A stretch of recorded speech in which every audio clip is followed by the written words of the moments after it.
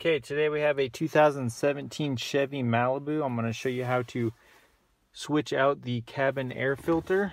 First, you're going to go to the glove box, open it up. Next, this little spot right there, um, you're going to push that in. You're doing it from the other side. As this little um, doohickey right here, if you can see that. You just slide it out so it pops out. Um, next, you're gonna push that part in there, and then this one has it right here. Pull that out.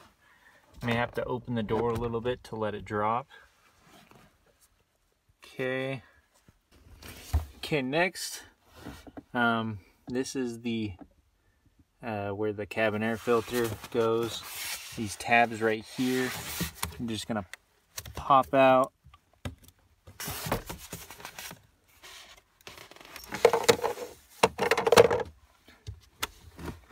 Okay, next you're just gonna grab this cabin air filter,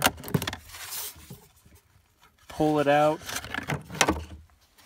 and check and see what it looks like. This one's actually pretty clean. So we're just gonna put it back in here for now. Um, grabbed it. Put it back in there.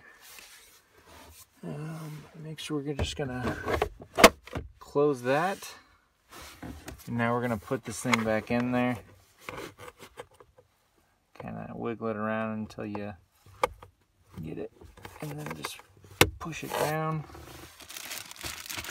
The owner manual and such back in there and you're good to go.